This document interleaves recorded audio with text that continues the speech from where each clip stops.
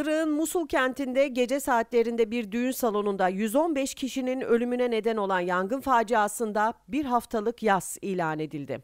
Musul'da bir düğün salonunda havai fişekler nedeniyle çıkan yangında ilk belirlemelere göre 115 kişi hayatını kaybederken 200'den fazla kişi de yaralandı.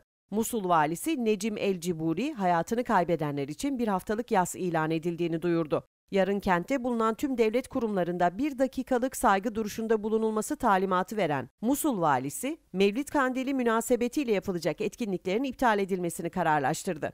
Irak Milli Savunma Genel Müdürlüğü tarafından yapılan açıklamada ise yangının gerekli tedbirlerin alınmaması sonucu yaşanan ihmal nedeniyle hızla yayıldığı kaydedildi. Havai fişeklerin yol açtığı yangında salonda yaklaşık bin kişi bulunduğu bildirildi.